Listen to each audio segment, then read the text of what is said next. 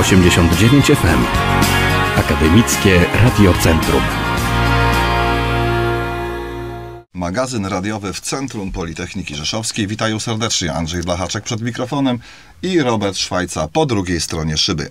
Goście dzisiejszego wydania to Magdalena Inglot, Zakład Zarządzania Projektami Wydziału Zarządzania Politechniki Rzeszowskiej, pracownik naukowo-badawczy, asystent. Witam serdecznie. Dzień dobry, bardzo mi miło, dziękuję za zaproszenie. Są z nami również studenci Wydziału Zarządzania Katarzyna Mierzwa i Kacper Mendoń. Witam serdecznie. Witamy bardzo serdecznie. Dzień dobry, dzień dobry. Jeżeli studenci, to od razu zapytam, który rok i jaki kierunek? Trzeci rok zarządzania na specjalności nowoczesny marketing. Tak, ja jestem na tym samym co Katarzyna. Słuchajcie, będziemy rozmawiać o rzeczach ważnych, ciekawych. Będziemy rozmawiać o projektach promocyjnych, o zarządzaniu tymi y, projektami, o waszych pomysłach, które realizujecie na co dzień i już planujecie, jak można je później wdrożyć w życie, ale zanim to nastąpi, y, muszę podpytać, jak zaczęła się wasza przygoda z Politechniką Rzeszowską i zaczniemy od pani asystent. Sięgnijmy pamięcią wstecz, dlaczego Politechnika Rzeszowska, co zdecydowało na tym etapie życia po szkole średniej. Oj, to w moim przypadku pewnie ta historia e, jednak będzie taka troszkę najdłuższa, e, ale postaram się e, jakoś tutaj zgrabnie ją skrócić, więc no, moja historia z Politechniką Rzeszowską zaczęła się już od moich studiów licencjackich. Pierwsze studiowałam tutaj finanse i rachunkowość. Tak żartobliwie często to daję, że pieniądze to było coś, co zawsze lubiłam, więc e, e, pierwsze właśnie e, tutaj wybrałam taki kierunek, a potem tą wiedzę też chciałam uzupełnić jednak o takie aspekty związane z zarządzaniem, z tego względu, że no jakby nie patrzeć, pieniądze są bardzo istotne, ale też warto popatrzeć na to przez pryzmat właśnie dobrego ich wykorzystania, dlatego już moje studia magisterskie kontynuowałam właśnie na kierunku zarządzanie, była to specjalizacja zarządzanie projektami, no a potem tak bardzo spodobało mi się na uczelni, że chciałam zostać dłużej, no i e, tak wyszło, że też od trzech lat e, na Wydziale Zarządzania, w Zakładzie Zarządzania Projektami e, pracuję jako asystent. I to jest spełnienie tej wizji, tego pomysłu, no bo jest kasa, którą trzeba umiejętnie zadysponować, żeby ten projekt osiągnął swój cel, swoje zamierzenia. Dokładnie. Jakby nie patrzeć, no te aspekty finansowe są no, trochę niezbędne w dzisiejszych czasach jednak e, to działania, ale to tak ważne też szczególnie teraz e, w obecnej sytuacji, żeby też szukać takich wszelkich możliwości optymalizacji e, tych kosztów i tutaj no, jest to nierozerwalnie powiązane również z zarządzaniem. To jest nasze pierwsze spotkanie na antenie radiowej, dlatego zanim porozmawiamy o sprawach związanych z wydziałem, sprawach związanych z zakładem, to ja jeszcze pozwolę sobie dopytać o parę szczegółów, chociażby o galerię sztuki. Ta wymarzona to jest Paryż, to jest Nowy Jork, czy, czy jeszcze coś innego? No, ten, tym numerem e, jeden jest e, Nowy Jork, bo e, bardzo miło byłoby zobaczyć aż tyle dzieł w, jednych miejsc, w jednym miejscu. Na ten moment jeszcze próbuję takimi małymi stopniami to, to osiągać. Już od kilku lat też z moimi znajomymi mam taki plan, żeby zwiedzić wszystkie e, miasta wojewódzkie w Polsce. Jeszcze kilka zostało na mojej e, liście, ale też za każdym razem, kiedy takie miasto wojewódzkie odwiedzam jest jakaś galeria e, sztuki, to z dużą przyjemnością ją, ją odwiedzam. Bardzo takim planem, który mam na najbliższą przyszłość, to byłby plan odwiedzenia Wiednia i też zobaczenia obrazów Klimta. To chyba mój ulubiony artysta. A jeżeli chodzi o sprawy filmowe, dalej ta szóstka przyjaciół z Nowego Jorku, czy, czy coś nowego się na horyzoncie pojawiło? ja widzę, że pan bardzo dobrze przygotowany, ale to mnie zresztą nie dziwi. No tak, Przyjaciele to jest mój serial e, numer jeden i myślę, że pewnie e, większość, e, większość dialogów byłabym tutaj w stanie, w stanie przytoczyć. No, w ramach relaksu chyba jest to mój taki ulubiony sposób, żeby, żeby odpocząć na przykład po ciężkim dniu, więc ten serial już od wielu lat e, naprawdę bardzo często mi e, towarzyszy. No właśnie, Mhm. miałem podpytać o te formy relaksu i tutaj odpowiedź sama się nasuwa. Właśnie, to jest taka odskocznia, prawda? To jest, to jest taki przerywnik, bo rachunkowość, finanse, zarządzanie, te cyferki, liczby, no to to wszystko czasami potrafi przytłoczyć, bo to są zajęcia bardzo odpowiedzialne, bardzo poważne, a jeszcze trzeba się tymi zajęciami, tą wiedzą podzielić ze studentami, żeby to umiejętnie przekazać, więc trzeba szukać takich właśnie alternatyw, czyli na horyzoncie właśnie te galerie sztuki, a w międzyczasie serial Przyjaciele. Przyjaciele. Tak, chociaż no też muszę podkreślić, że myślę, że w dużym stopniu też jest, e, że moja praca jest dla mnie przyjemnością i niektórzy mówią, że jak się e, wybierze pracę, która będzie pasją, to wtedy nie przepracuje się ani jednego dnia w życiu i ja myślę, że ta reguła ma w sobie trochę prawdy. Tak. Są z nami studenci, jest e, Katarzyna, jest Kasper. Trzeci rok, no to już e, można powiedzieć kawał czasu poświęconego na studiowanie. Kiedyś, kiedy studia były jednolite, pięcioletnie, mówiło się, że jesteśmy na półmetku. Teraz, kiedy mamy studia pierwszego, drugiego stopnia, no to trzeci rok, no to jest poważna sprawa, to jest kolejne wyzwanie, mnóstwo przemyśleń. Zanim do tych przemyśleń dotrzemy, również podpytam, dlaczego Politechnika Rzeszowska, dlaczego Wydział Zarządzania w Waszym przypadku? W moim przypadku e, przygoda z Politechniką zaczęła się przed Wydziałem Zarządzania, bo ja zaczęłam swoją przygodę na Wydziale Chemicznym, bo w liceum byłam e, zapalonym chemikiem i spróbowałam pół roku chemii, ale jednak praca w sztywnym laboratorium nie była dla mnie. Dlatego po pół roku przerwy i przemyśleń wybrałam właśnie Wydział Zarządzania, no i zarządzanie stricte. Ale mimo wszystko moje plany znowu się zmieniają, więc jeżeli chodzi o magisterkę, to może być bardzo różnie. Może znowu wrócę do czegoś bliżej chemii. A Kasper, w Twoim przypadku? E, moja historia nie jest e, jakaś skomplikowana. Mieszkam pod Rzeszowem, w Tyczynie dokładnie. E, także na Politechnikę mam bardzo blisko, dosłownie jednym autobusem. Z tego względu też wybrałem Politechnikę i na pewno z tego, że jest to najlepsza uczelnia w Rzeszowie. Słyszałem wiele opinii na ten temat, czy to od rodziców, czy to od znajomych, czy to nawet od ludzi trzecich z zewnątrz. E, I tym się kierowałem i również tym, że do końca, prawdę mówiąc, nie wiedziałem, co chcę jeszcze robić, ale gdzieś ten kierunek zarządzania i wydział po, pod, podszedł, podszedł mi e, i stwierdziłem, że będę się w tym kierunku realizował. Słuchajcie, rozmawiamy również w bardzo dogodnym terminie, bo do 20 lutego trwa rekrutacja właśnie na drugi stopień studiów. Y, y, Tutaj też zachęcamy osoby, które chcą podjąć właśnie studia drugiego stopnia w, Poli- w Politechnice Rzeszowskiej. To jest absolutny finisz. Można wejść na zakładkę internetową, sprawdzić sobie, jak ta rekrutacja wygląda, jakie są do dyspozycji jeszcze kierunki, jakie są możliwości, więc do tego zachęcamy. Wy już swoje pierwsze przemyślenia na pewno macie. No tutaj Kasia już powiedziała, że jest taka bitwa w głowie, burza w głowie, czy kontynuować na Wydziale Zarządzania, czy w kierunku chemii. Kiedy to się rozstrzygnie? Ile masz czasu na podjęcie decyzji? Ja na szczęście mam jeszcze pół roku. W tym momencie testuję jeszcze wiele innych opcji, bo teraz skłaniam się jeszcze ku finansom, bo pracuję w audycie finansowym obecnie. Więc jeszcze e, dochodzą kolejne rzeczy, nad którymi się zastanawiam. Na szczęście mam pół roku i mam nadzieję, że coś wtedy kliknie i powie mi, to jest ta droga. Kasper, a ile ty masz czasu i czy już coś ci świta w głowie? E, Ja na pewno chcę po pierwsze napisać pracę licencjacką i ją obronić. No to jest- uzyskać stopień tak jest, licencjata. to jest podstawa tak, do To jest mój wszystkiego aktualny cel, tak, którego się na razie trzymam i chcę go zrealizować.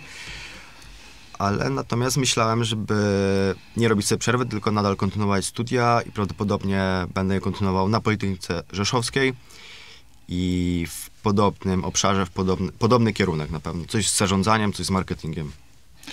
Przechodzimy do zakładu zarządzania. Pozdrawiamy przy okazji pana profesora Jacka Strojnego, który wielokrotnie miał okazję gościć na antenie radiowej i to w różnych formatach, nawet w formacie muzycznym.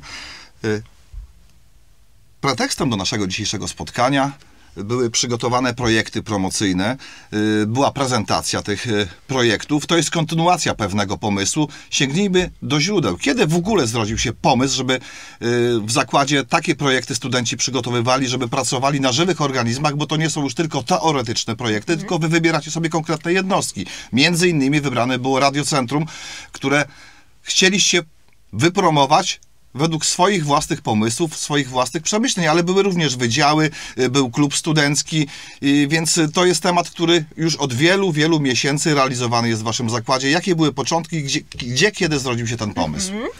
E, To znaczy, jeśli tutaj mogę mówić o początkach, e, to e, no muszę je w swoim przypadku utożsamić właśnie z momentem, kiedy też pierwszy raz ten przedmiot prowadziłam i tutaj też wspomniany już profesor Jacek Strojny tak e, zasugerował, że może fajnie by było, gdybyśmy jednak e, poprowadzili takie bardziej praktyczne projekty, e, żeby też studenci jakby mogli mieć takie doświadczenie, że to nie tylko jest taka sztuka dla sztuki, gdzie przygotowuje się jakieś założenia, one potem idą do oceny i trafiają do szuflady, ale żeby być może też jakby poczuć to właśnie tak na żywym, na żywym organizmie. No i wtedy właśnie padła, padła propozycja takiej koncepcji, żebyśmy spróbowali trochę popracować sobie tutaj z różnymi jednostkami Politechniki Rzeszowskiej. E, I e, ten e, przedmiot jest już tutaj przez nas realizowany bodajże drugi czy trzeci, trzeci rok przez e, nasz zakład zarządzania e, projektami. E, I e, też e, w tym roku mieliśmy tutaj taką e, koncepcję ze studentami, że e, każdy e, zespół e, losował dwie jednostki Politechniki Rzeszowskiej, spośród e, której właśnie mógł e, wybrać ten temat, który bardziej mu odpowiada. E, Tutaj pani e, Kasia i e, pan Kacper wylosowali akurat e, radio, radiocentrum. Nie, nie pamiętam, co, co było drugą e, e, e, możliwością. Pamiętacie Państwo? Niestety nie. O- Okej, to, to, to, była pierwsza oczywista opcja i tej wersji się Tak, zapadło w pamięć, e, więc, e, więc tutaj e, na, na ten projekt właśnie studenci się e, zdecydowali, no i e, spróbowaliśmy właśnie w trakcie tych e, zajęć popracować trochę e, nad, nad właśnie założeniami e, promocji, żeby później móc tą, e, e, e, te propozycje przykładowo pokazać dyrektorowi e, Radia e, Centrum, żeby e, mógł, mógł je właśnie e, ocenić i też podzielić się swoją wiedzą i doświadczeniem, co w tym wypadku też z całą pewnością jest bezcenne. No, ja miałem przyjemność i okazję uczestniczyć w spotkaniu, gdzie była prezentacja tych wszystkich projektów i powiem szczerze, byłem pod wielkim wrażeniem, bo było to zupełnie świeże spojrzenie, spojrzenie z boku, bez takich obciążeń, które obarczone są e, różnym ryzykiem, jeśli robimy pewne rzeczy na co dzień. Jednak z boku trochę inaczej pewne e, problemy widać i to jest mnóstwo pomysłów, z których można skorzystać. W tym roku poprzeczka była postawiona bardzo wysoko, bo e, jednostki, które zostały wybrane, to nie są jednostki proste do promowania. Jeśli jesteśmy przy radiu, no to powiedzmy sobie szczerze, wielu dobrej klasy specjalistów, y, wiele poważnych domów reklamowych, agencji reklamowych połamało sobie zęby, żeby wypromować rozgłośnię radiową. Jeżeli w e, promocji był wydział chemiczny, y, to jest również wielkie wyzwanie, bo promocja wydziałów chemicznych generalnie w Polsce jest po prostu trudna, bo obarczona jest e, różnymi ryzykami i, i tym naborem, który niekoniecznie na wydziały chemiczne w całej Polsce jest bardzo, bardzo duży, prawda? Więc tutaj też trzeba mieć pomysł, jak do tego wydziału chemicznego skusić potencjalnych licealistów y, czy absolwentów szkół średnich. Y, Wzięliście sobie klub studencki, który praktycznie powstaje od nowa. Klub studencki Plus to jest przeszłość, tworzone jest zupełnie nowe miejsce dla studentów, dla społeczności akademickiej, więc też kolejne wyzwanie, jak to zaprojektować, jak to pokazać, żeby ładnie ten projekt zafunkcjonował w przyszłości. Y, Był również y, między innymi oczywiście y, Wydział Budowy Maszyn i Lotnictwa, gdzie też potocznie kojarzymy to z właśnie z lotnictwem, z samolotami, z ośrodkiem kształcenia lotniczego, ale jest przecież na tym wydziale cała masa fantastycznych kierunków, fantastycznych specjalizacji z dobrze płatną pracą na zakończenie takich studiów i też trzeba było tutaj umiejętnie pokazać, że atuty to nie tylko wydział związany z lotnictwem, ale to inne kierunki, więc tych wyzwań było sporo i ro- rozgadałem się, ale, ale słuchajcie, to też, żeby słuchacze mieli jasność, wyście określili sobie cel projektu, e, charakterystykę całej grupy docelowej, analizę otoczenia, e, przygotowaliście konkretne propozycje, harmonogram działań. E, Skoro jest pani Magdalena, była oczywiście kasa, więc było to oparte o konkretne rozwiązania finansowe, ile co może w takim projekcie kosztować E, i później również, co bardzo istotne, skupiliście się w jaki sposób zmierzyć skuteczność, że ten projekt jest dobry, że on będzie miał wzięcie, więc e, tej pracy było sporo. Słuchajcie, jak długo pracowaliście nad, nad projektem? Ja już pytam konkretnie o projekt Radia Centrum, ale generalnie praca w zespołach pewnie podobnie wyglądała. Kiedy zaczęliście, kiedy był finish? Zaczęliśmy w październiku, już na samym początku byliśmy podzieleni do grup i zaczęliśmy w październiku, no i skończyliśmy na kilka dni przed oficjalną, e, przed oficjal, oficjalną prezentacją. Tak, wszystko domknęliśmy w styczniu, tak, na ostatni guzik. Na ostatni guzik i na ostatnie godziny przed. Ale dodam, że studenci pracowali e, bardzo systematycznie i, i tutaj e, myślę, że dzięki temu też te e, wszystkie e, założenia udało, udało się osiągnąć. Ale jeśli ja coś mogę dodać do tej e, listy tych elementów, które e, Pan przed momentem wymienił, to ja myślę, że one wszystkie były tutaj dużym wyzwaniem, ale pewnie to, co było na samym końcu, ja, ja nie wiem, tutaj studenci pewnie to zaraz e, ocenią, to, to pewnie było jedno z największych e, e, wyzwań, tak, tak myślę, bo jeśli chodzi o samo zarządzanie projektem, to z całą pewnością właśnie s- zdefiniowanie prawidłowo celu, określenie zadań, to są bardzo istotne aspekty, ale pokazanie, że e, te pomysły, ten produkt, który my wytwarzamy, zaprezentowanie go klientowi i pokazanie, że to ma właśnie wartość, to w mojej ocenie jest właśnie ten klucz i tutaj studenci e, właśnie e, e, próbowali tego dokonać, no przed takim audytorium całkiem powiedzmy dostojnym, bo, bo tutaj i pan dyrektor z radia i przykładowo pani dziekan z Wydziału Chemicznego, pan rzecznik Politechniki Rzeszowskiej, więc no oczywiście jeszcze wiele, wiele innych osób. E, No i e, tutaj e, samo, samo to audytorium już też dodatkowe emocje myślę, że two, tworzyło, ale studenci świetnie temu w mojej ocenie podołali. No nie wiem, może Państwo tutaj powiecie, czy było to emocjonujące wydarzenie, czy niekoniecznie? To było bardzo emocjonujące wydarzenie i chyba nie byliśmy na to gotowi. Może do, do samego końca nie byliśmy na to gotowi, żeby wystąpić i zaprezentować to, co przygotowaliśmy, ale na samym początku projektu już wyzwań było kilka. Pierwszym e, trudnym, e, trudną rzeczą, przed którą pani nas postawiła, to zdecydowanie losowanie się do grup, z którymi robimy, tworzymy projekt. Bo przez e, poprzednie dwa lata zawsze mogliśmy dobrać sobie sami swoją grupę, z którą pracujemy, wiedzieliśmy, jak dokładnie pracujemy. I że wiemy, że ten nasz tryb pracy jest dokładnie taki sam i że się dogadamy, a w momencie, w którym dostajemy bardzo, e, bardzo zróżnicowaną grupę, z którą pracujemy, problem był na, już na samym początku, żeby określić cel, na który wszyscy się zgadzają, żeby określić sposoby tej promocji, żeby też dopasować sobie rytm pracy do każdego. No ostatecznie jak już udało nam się przebrnąć przez te pierwsze trudności i wymyślić wszystko, to później okazuje się, że największa trudność stoi jeszcze przed nami, bo trzeba to zaprezentować przed większym audytorium, gdzie my tak naprawdę przez rok studiowania nie mieliśmy też możliwości, żeby prezentować to choćby między swoją grupą, no bo byliśmy jednak zdalnie, więc mieliśmy tylko mikrofon i własny ekran. E, i, I tutaj na samym końcu, już na trzecim roku, czeka nas jeszcze właśnie taka duża trudność.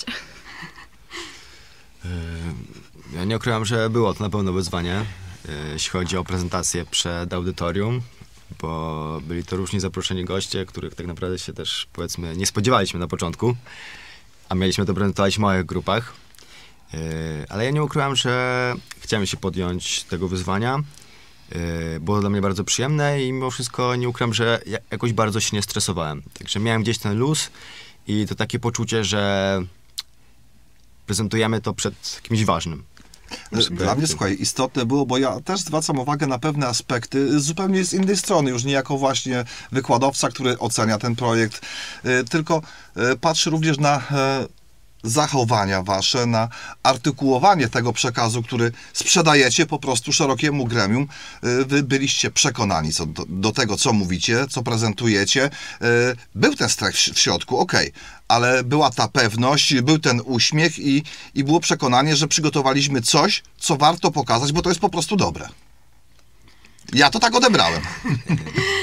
No tak, tak.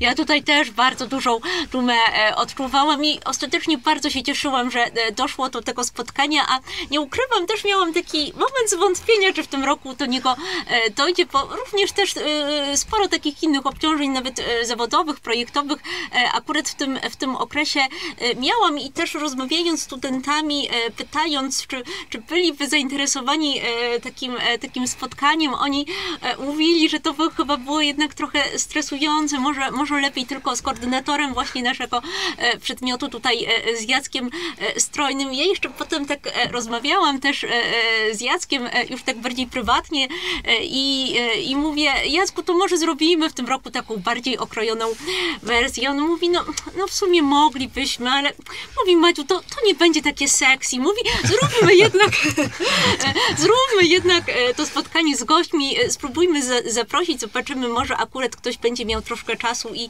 możliwości, żeby, żeby tutaj się z nami e, spotkać. I ja też byłam niezwykle pozytywnie e, zaskoczona tą reakcją z drugiej e, strony, ponieważ to wszystkich osób, do których ja przysłałam to zaproszenie, to zaproszenie było na godzinę 14, spotkanie było od 14 do 17, więc już powiedzmy, że nawet trochę po pracy, prawda?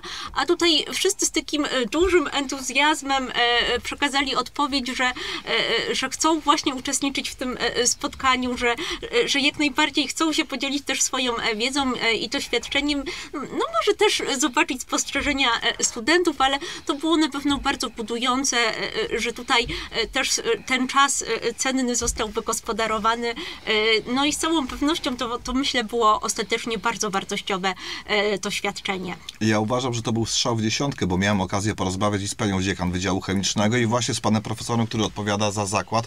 Z jednej strony dla studentów to jest takie też zderzenie się w pewnym momencie ze ścianą, ale to procentuje, bo w życiu codziennym później takich spotkań będzie więcej, y, tych rozmów poważnych będzie więcej, takich rzeczy, na które trzeba być przygotowanym będzie więcej i to już był taki przedsmak pewnych emocji, że trzeba jednak zapanować, sprzedać swoją wiedzę, sprzedać siebie przyszłemu pracodawcy chociażby, prawda? Więc, więc to było z jednej strony bardzo fajne, z drugiej strony y, fajne było to, że to nie zostało tylko i wyłącznie w zakładzie waszym, że wy sobie to ocenicie, dacie oceny, dacie zaliczenia, kogoś pochwalicie, komuś wytkniecie błędy i koniec. To był projekt, który wyszedł y, i ujrzał światło dzienne.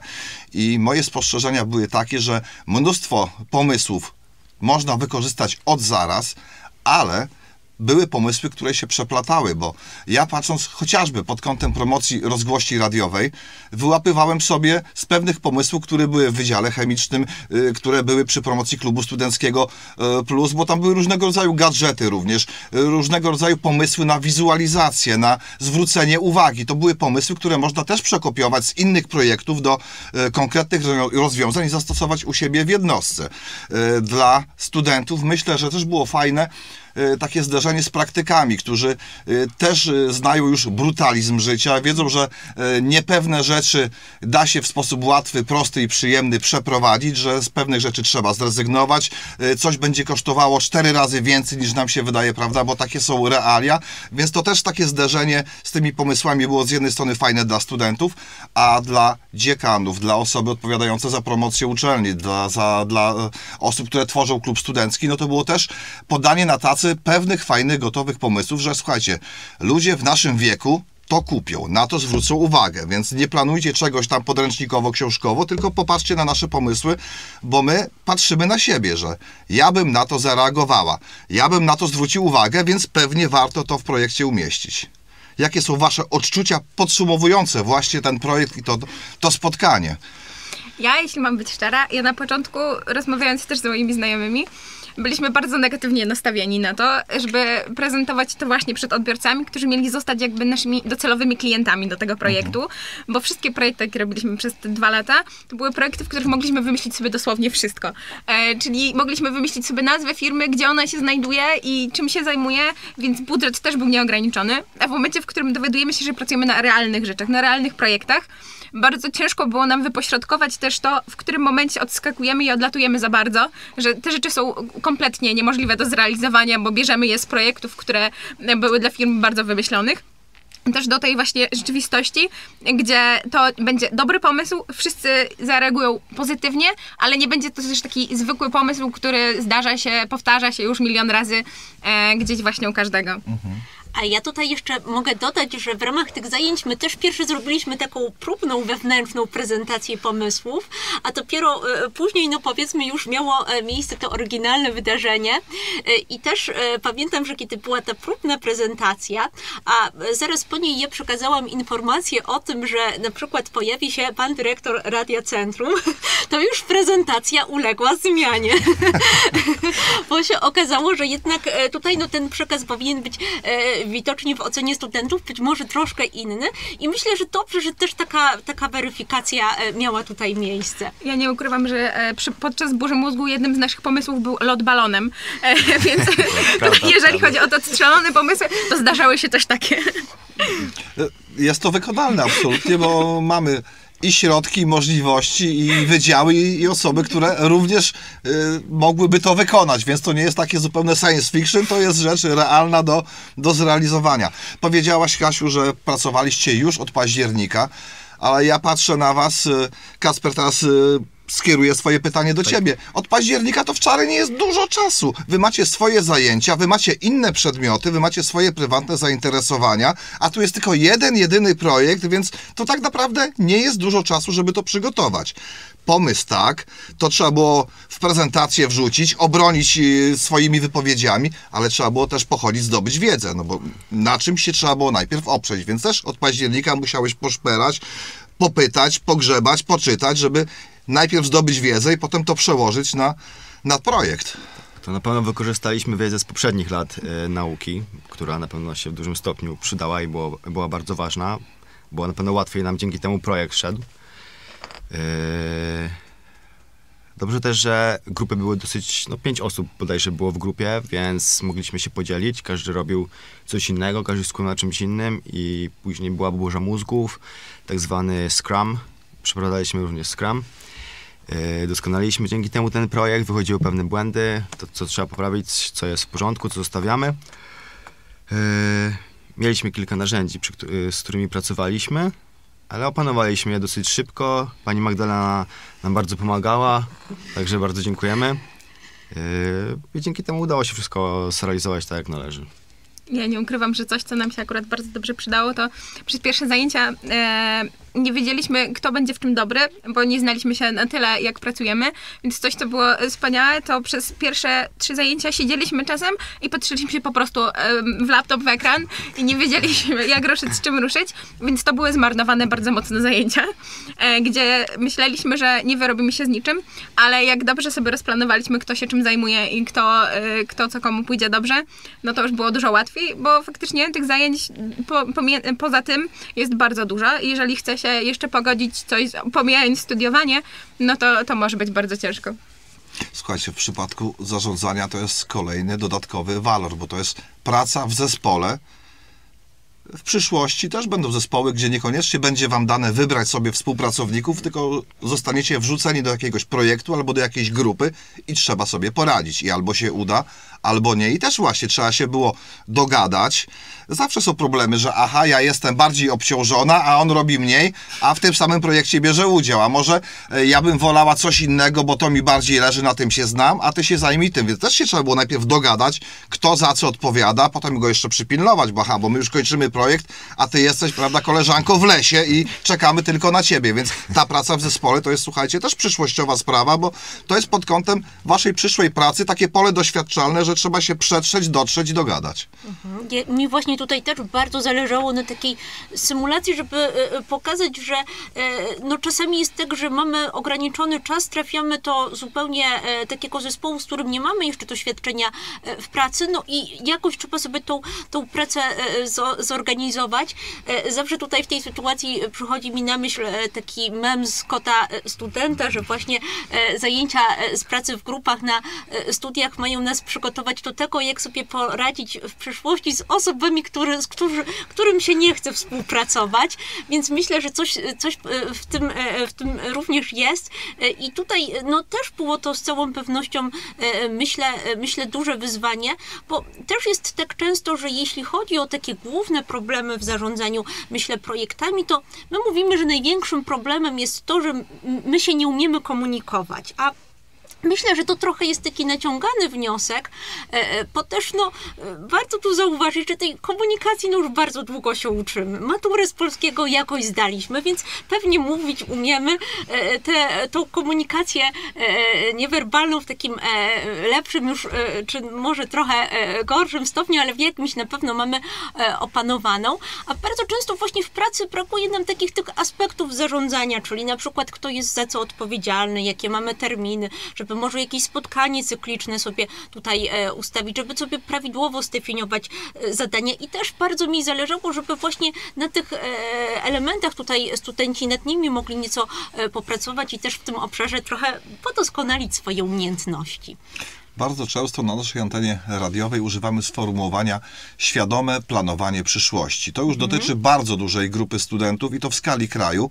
Coraz częściej sięgamy również do szkół średnich, gdzie e, ta młodzież licealna na etapie trzeciej, czwartej klasy liceum, czy, czy klas nawet technikum, już ma w głowie wizję, że studia tak, ale nie dla samego MGR czy samego INZ, tylko pod kątem pracy, która ma być przyjemna, ale ma być dobrze płatna, bo na to zwracamy uwagę. Więc nie robimy już w tej chwili studiów, nie podejmujemy, nie, nie podejmujemy kształcenia dla samego tytułu, tylko my mamy wizję, że to ma nam dać satysfakcję, ma nam dać kasę. No i teraz o ile Politechnika Rzeszowska jest marką, której specjalnie przedstawiać i promować nie trzeba, bo każdy pracodawca wie, jaka to jest uczelnia i jaki poziom prezentuje, to teraz właśnie od Was już indywidualnie zależy, w tym rozmowie z rekruterem, czy z prezesem, czy z firmą, do której będziecie uderzać po studiach, jak siebie sprzedacie, jak sprzedacie swoje własne mo mo możliwości, bo można to zrobić na kilka sposobów różnych i efekt też może być różny, więc to też od Was zależy potem z jakiego punktu wystartujecie i, i co będziecie w stanie osiągnąć. Myślę, że takie spotkania, te projekty, czy takie publiczne prezentacje również służą temu, bo to jest nie tylko doskonalenie swoich, swojej wiedzy przy przygotowywaniu projektu, ale właśnie to są te rzeczy, na które zwraca uwagę profesor Strojny, yy, Iwona Wojciechowska, która jest super specjalistką, jeśli chodzi o marketing, zarządzanie, prawda. promocję i tutaj była pod zachwytem wielu pomysłów, sposobu prezentacji i mówiła, to zaprocentuje. Mówi, ja bardzo się cieszę, że oni te rzeczy przygotowali, pokazali, a my możemy je oglądać. Ja się tutaj może trochę z Panem nie zgodzę a propos e, wyboru studiów, e, bo tutaj Pan powiedział, że nie skupiamy się już na tym licencjacie i na mistrza, z tym się zgadzam akurat, ale jeżeli chodzi o pracę, to ja, będąc już po tych czterech latach, gdzie studiuję, znając, mając tą wiedzę, w życiu w liceum nie myślałabym, że muszę wybrać studia po tym, żeby mieć docelowo tą samą pracę, którą, e, jakby, której uczyłam się na studiach. Coś, e, z czym szłabym właśnie wybierając kierunek, to to, ile może mi dać tak życiowo. Także otworzy trochę na świat, e, bo mimo wszystko na przykład zarządzanie, jak dla mnie, coś co mi dało to bardzo dużą odwagę, żeby po prostu próbować nowych rzeczy. Czyli nie skupiać się na tym, że dokładnie muszę nauczyć się tego, co mi mówią studia, tylko żeby znaleźć coś, e, dzięki czemu będzie mi się lepiej żyło i dzięki czemu po prostu mm, będę zarabiać, ale też czerpać po prostu szczęście z tego, że coś robię. Więc nie, niekoniecznie trzeba planować to, że studiuję zarządzanie, więc później będę zajmować się projektami, Jasne. tylko mimo wszystko szukać czegoś dla siebie w studiach, ale nie, niekoniecznie pod kątem pracy. Ale to też jest właśnie pomysł i, to są przemyślenia, które powodują, że będzie z pewnymi tematami później łatwiej i prościej, bo poznajemy rzeczy, na których nam zależy, dowiadujemy się rzeczy, o których niekoniecznie wiedzieliśmy wcześniej, mieliśmy świadomość, że z tym się i z tym możemy spotkać, zderzyć i idziemy lepiej przygotowani w świat. A jeszcze patrząc na możliwości, które stwarza uczelnia, które stwarza wydział, czyli różnego rodzaju staże, praktyki, wyjazdy, spotkania ze studentami z Erasmusa, którzy przyjeżdżają tutaj, no to to spektrum możliwości własnego rozwoju jest potężne. Zgadzam się bardzo akurat z tym, że jeżeli chodzi o wszystkie te aktywności, które są poza y, samym studiowaniem, to warto korzystać z nich. Tak jak ja na przykład żałuję, że jeszcze nie udało mi się wyjechać na Erasmusa, bo wszystkie moje koleżanki, które są właśnie, to bardzo mocno im zazdroszczę, ale mimo wszystko nawet jeżeli chcemy zostać tutaj, to są różne koła, może teraz wypromuję moje, bo ja należę do koła naukowego Brief, marketing- marketingowego, także jeżeli ktoś chce robić coś tylko poza studiowaniem, to ma milion możliwości, żeby gdzieś coś zrobić właśnie na Politechnice. A Kacper, jakie są twoje przemyślenia właśnie na ten temat? Moje przemyślenia. Ja technikiem nadal poszukuję jeszcze jakiegoś takiego większego celu i w czym chcę się tak realizować po tych studiach, ale na pewno te studia, no tak jak tutaj Katarzyna wcześniej mówiła, no jest to baza doświadczeń, różnych doświadczeń, które nas gdzieś też po części kształtują, doskonalą. Wiemy jak reagować na jakieś różne bodźce, czy na jakieś różne sytuacje. Yy, wiemy jak się zachować w różnych, no tak powiedziałem, w różnych e, określonych zdarzeniach w życiu i nie tylko, i w, czy to też w pracy. Yy, I no, na pewno trzeba jak najwięcej z tego czerpać i, i wyciągać wnioski. I też dużo na pewno mi dały praktyki, bo na drugim roku, czy na trzecim roku y, mojego, naszego kierunku drugim. zarządzania były praktyki i nie ukrywam, uczęszczałem codziennie na te praktyki po 4 godziny, po 8 godzin bodajże. Jakoś w tych granicach to różnie, w zależności od tego, czy było coś do robienia, czy nie, ale y, obyłem się jakby w tej firmie, poznałem kulturę firmy, y, nowe doświadczenia, prawda, jak y, ludzie ze sobą pracują, jak to wygląda, jak to wszystko jest powiązane i na pewno byłem pełen powiedzmy, lekkiego zachwytu i takiego szoku, że tak to może dobrze wyglądać. I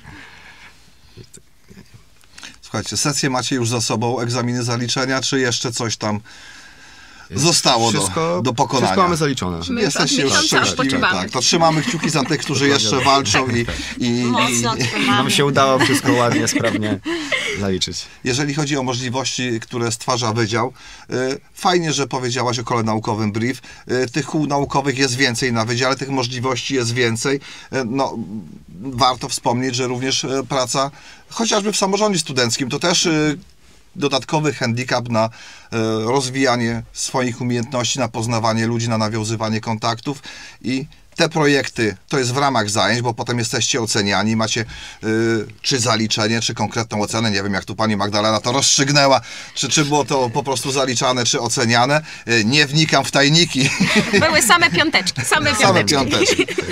Zgodnie e, tutaj e, z poziomem pracy, który e, został przedstawiony, poziomem efektów, dokonaliśmy właśnie takiej, takiej klasyfikacji ocen i, i myślę, że była ona sprawiedliwa, sprawiedliwa, a też studenci nie zostali pokrzywdzeni, więc Jak najbardziej. Cieszę się, że potwierdzają. Tak, ale właśnie zmierzam do tego, że to jest w ramach zajęć i, i cały czas chwalimy tego typu projekty, tego typu pomysły, ale tych możliwości właśnie jest więcej. Te zajęcia y, już nieobowiązkowe, dodatkowe właśnie w ramach kół naukowych, w ramach pracy w samorządzie. Ten samorząd zresztą na Wydziale Zarządzania bardzo prężnie, bardzo fajnie działa. Od czasu do czasu organizujecie spotkania, dni otwarte. No tutaj też możemy zaprosić 24 lutego. y, Są dni otwarte właśnie, czy dzień otwarty Wydziału Zarządzania, więc też y, koleżanki, koledzy, wy zapraszacie, pokazujecie wydział, jakie ma walory, jakie ma atuty i, i też zachęcacie do podjęcia studiów na tym waszym wydziale, gdzie wy jesteście. Ja jestem przekonana o tym, że e, właśnie te mm, dodatkowe aktywności, one też tak szczególnie e, podnoszą jako, e, tą jakość tych umiejętności, które my nabywamy. No, współpraca z osobami, gdzie nie musimy czegoś robić, a chcemy, ona w, mojej ocenie pewnie też ma tutaj taką największą wartość. Ja tak się to myślam, też nawet z własnej perspektywy, bo pamiętam, kiedy też sama e, kół naukowych wstępowałam, to, to też na początku jest trochę takie przełamanie swojej strefy komfortu, że trzeba jednak dołączyć w jakieś nowe miejsce, nie wiadomo jakie tam e, e, zasady funkcjonują, czy się tam odnajdę, czy może niekoniecznie, ale naprawdę bardzo też serdecznie chciałabym tutaj wszystkich studentów e, zachęcić, żeby jednak próbować, szukać, może jednym razem się nie uda, ale może kolejny, e, kolejna próba to będzie właśnie ten strzał w, w dziesiątkę. Warto właśnie też szukać takich nowych, nowych doświadczeń i też próbować właśnie nabywać takie e, nowe kompetencje. Myślę, że to jest naprawdę szalenie e, ważne i taka potężna e, możliwość takich pozytywnych e, doświadczeń, e, e, które my sobie tutaj e, możemy budować. No i bardzo wiele nowych znajomości. Myślę, że to chyba też jest Tak, Na najważniejsze. pewno lepiej spróbować niż później żałować, że się nie Żałować, spróbowało. no dokładnie. To bardzo głębokie, na ten temat moglibyśmy do wieczora rozmawiać. Natomiast no, faktycznie są osoby, które powiedzą, to jest mój czas wolny, on jest święty, nienaruszalny i nie dadzą się namówić do żadnej innej działalności. A istotą jest to, żeby właśnie w tej innej działalności znaleźć swoją przyjemność, swoje nowe hobby, swoje nowe zainteresowania i wtedy to już nie jest obowiązek, który biorę na siebie, tylko to jest przyjemność, czy koło naukowe, czy, czy nawet jakaś akcja, która może być y, jednorazową akcją, czy akcją cykliczną, bo, bo również są przez wydział organizowane akcje, czy charytatywne, czy akcje pomocowe, czy różnego rodzaju zbiórki, prawda, więc czy pod szyldem no w ogóle całego samorządu Politechniki Rzeszowskiej różnego rodzaju akcje pomocowe, więc, więc to też jest taka formuła, że jak się wpasujemy i robimy to, do czego jesteśmy przekonani i sprawia nam przyjemność, to to już nie jest zabieranie sobie tego czasu wolnego, tylko to jest forma spędzania wolnego czasu. No dokładnie. I ja jeśli mogę jeszcze coś do tego dodać, to też pamiętam moje e, studenckie doświadczenie, kiedy organizowaliśmy w ramach koła naukowego taką naszą pierwszą e, konferencję naukową e, i jeszcze w ogóle żadnych szlaków nie mieliśmy przytartych. No dosłownie wszystko trzeba było dowiedzieć się od, od nowa. Ja pamiętam, że w ten sposób cały rektorat też zwiedziłam, zobaczyłam gdzie, w którym miejscu, jakie rzeczy trzeba było załatwić, ale to taką potężną satysfakcję nam dało, więc no z całą pewnością to takie e, doświadczenia nie, nieocenione e, buduje, do których bardzo miło wraca się wspomnieniami. To ja teraz tak anegdotycznie e, będę chciał nawiązać i do Waszych pomysłów i projektów przygotowywanych, ale również w kontekście Wydziału Zarządzania. Pani Magdalena wzrok e, skręca w drugą stronę, nie patrzy na Was.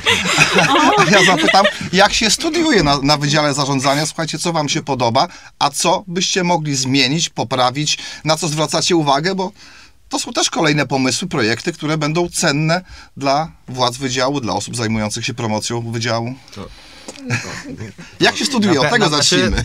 Dla mnie bardzo w porządku, jestem zadowolony. E, nie ukrywam, myślałem, że może będzie, że będzie gorzej, o tak?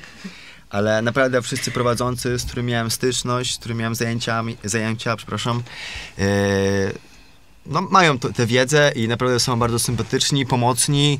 E, tak naprawdę nikt nie robił e, problemu. Mm, nie było tak, że komuś mógł, e, jakiemuś pro- prowadzącemu mogłeś podpaść i wtedy mogłeś nie zaliczyć. tak nie było. E,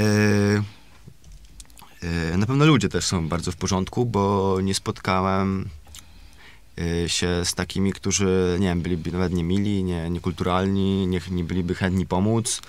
Nie ukrywam, że ostatnio zgubiłem się w budynku L i pytałem pewnego prowadzącego, czy wie, gdzie jest jakaś któraś sala, której szukałem, ale niestety nie wiedział i jakiś student, z którym miał wtedy zajęcia, powiedział, że on mi pomoże. I szukaliśmy po całym budynku, ale dosłownie z pół godzinki, no tak może 20 minut tej sali i w końcu nam się udało. Także to taka mała anegdotka. To ja po pierwszym, po pół roku e, chciałam zrezygnować, ale to dlatego, że jak były zdalne, to nie było klimatu studiowania, a coś, co myślę, że buduje w ogóle ten wydział, e, no i w sumie raczej całą Politechnikę, to właśnie są ludzie, których jak się poznaje i jak ma się możliwość właśnie kontaktu z nimi, no to jest, e, jest dużo lepiej.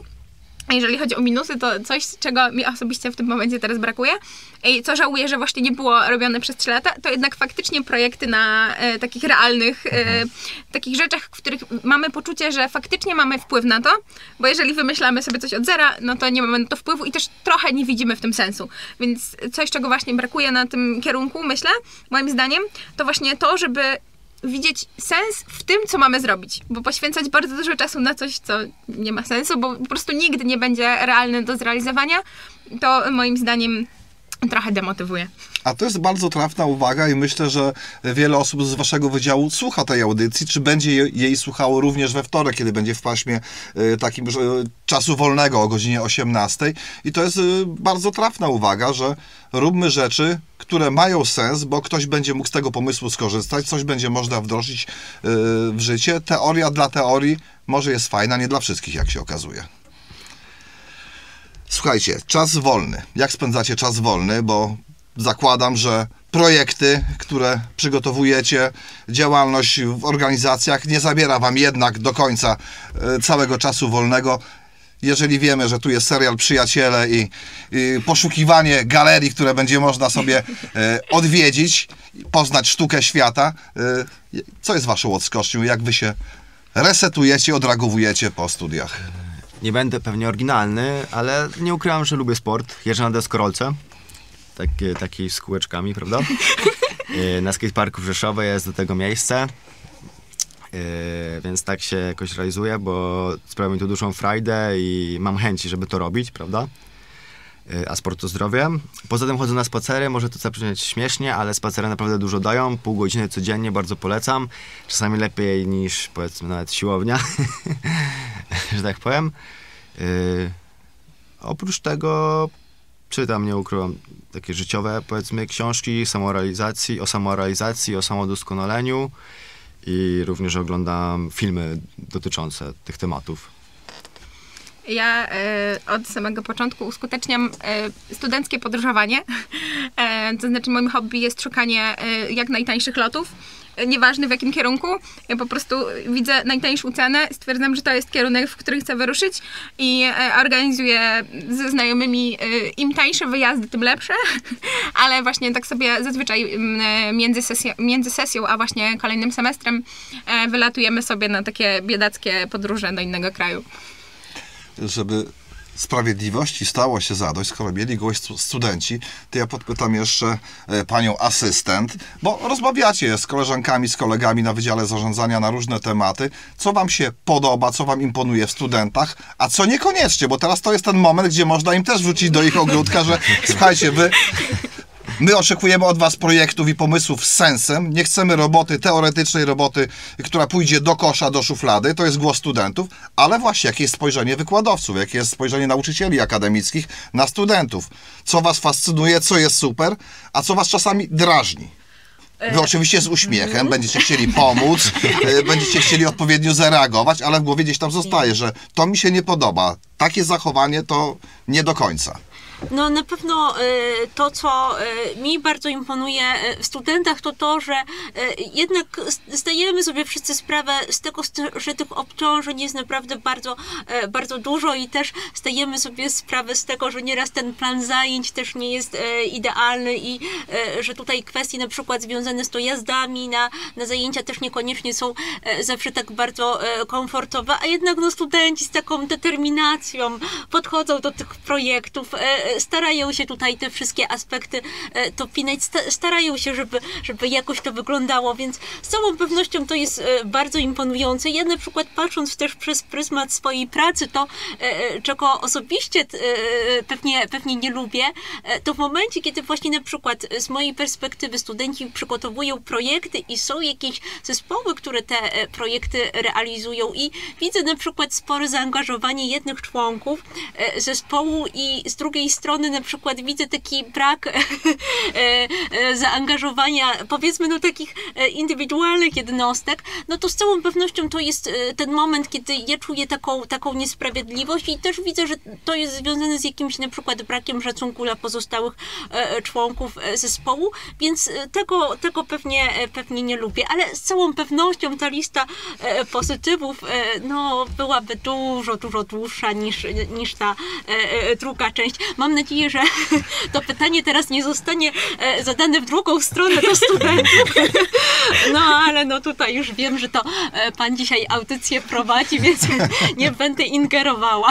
Nie, ale z, tym- z, tym, z tym wagonikiem, który lubi dopiąć się do składu, to jest prawda i na to zwracają uwagę e, wykładowcy, ale to również w grupach studenckich jest drażniące, tylko że właśnie czasem kolega, koleżanka, więc nie wypada, czasem w ramach tej solidarności grupowej też nie wypada kogoś pokazać palcem, że ty się poobijałeś i podpinasz się po prostu pod, pod naszą pracę. No to są normalne sytuacje życiowe i tu nawiążę z takimi sytuacjami też się w pracy zawodowej będą spotykać, gdzie, gdzie będą osoby, które się dopną do składu i, i takim najmniejszym kosztem będą się chciały prześlizgać, a osiągnąć ten sam cel, czy podpiąć się pod kogoś, który wykona dwa razy większą pracę. Tylko wy, wykładowcy, na to zwracacie uwagę i macie do tego narzędzia, żeby to wyegzekwować, bo od tego są właśnie stopnie, zaliczenia, e, czy dodatkowe nawet pytanie później, prawda, e, w trakcie jakichś spotkań, że, że, że można tej sprawiedliwości trochę sięgnąć, prawda? Tak. Y, Ja też tutaj sobie przypominam taką sytuację, która nie tak dawno miała, na, y, y, miała miejsce na studiach podyplomowych właśnie z kierunku e, Project Manager. Tutaj e, e, Jacek nam o niej opowiadał. W ramach właśnie tych, tych studiów jeden ze studentów no, dosyć często nie pojawiał się na tych zajęciach, też na pracy w grupach i z jedną osobą, z którą był w zespole, dosyć dobrze się e, przyjaźnili. E, No i ostatecznie potem, kiedy już też doszło do tego momentu ostatecznego, gdzie tam e, były wpisywane osoby, które nad danym projektem e, pracowały, ta jedna z osób, która, która tą listę sporządzała, no miała taki dylemat z tym, z tym zespołem i ostatecznie ta osoba nie, nie została właśnie wpisana na tą listę osób pracujących nad, nad projektem i to też z całą pewnością pewnie może było jedno z takich ważniejszych jej doświadczeń, które sobie była w stanie zbudować, żeby czasami nawet te kwestie związane z przyjaźnią trochę odciąć na przykład od kwestii e, powiedzmy e, zawodowych. No w życiu to też są trudne dylematy, ale takie, które na pewno mają miejsce. Słuchajcie, nieubłaganie docieramy do końca naszego dzisiejszego spo- spotkania, do końca magazynu w Centrum Politechniki Rzeszowskiej. E, Na koniec e, chciałbym Was zapytać o takie Wasze marzenia, cele, czego chcielibyście, nie, patrząc zupełnie co będzie za 5, za 10 lat, w tym roku, czego chcielibyście sobie po kolei życzyć, co chcielibyście osiągnąć? O, proszę, czyli ja pierwsza, tak? E, No z całą pewnością chciałabym już tutaj moją rozprawę doktorską dociągnąć do, do końca. Bardzo proszę trzymać za mnie kciuki i, i myślę, że jednak większość e, energii na to w tym roku przeznaczę. To jeżeli chodzi o mnie, to mój plan jest prosty. Chciałabym odwiedzić minimum cztery różne kraje jeszcze do końca tego roku. E, moim marzeniem takim skrytym jest e, spróbowanie surfingu w Portugalii. Teraz, panie Kacprze, to już chyba nie będzie skryte marzenie. To ja, Także ja, do tego dążę. Ja odpokuję i w imieniu Radia Centrum po prostu tego Wam życzę. Bardzo Okej. dziękuję, że znaleźliście czas i mogliście w programie na żywo poopowiadać, porozmawiać o swoim studiowaniu na Wydziale Zarządzania Politechniki Rzeszowskiej. Przypomnę, gość audycji z Zakładu Zarządzania Projektami Magdalena Inglot. Dziękuję bardzo. Serdecznie dziękuję. Katarzyna Mierzwa Serdecznie dziękuję. i Kacper Mendoń. Dziękuję bardzo, pozdrawiam wszystkich. Za uwagę dziękuję Andrzej Blachaczek i Robert Szwajca. 89 FM. Akademickie Radio Centrum.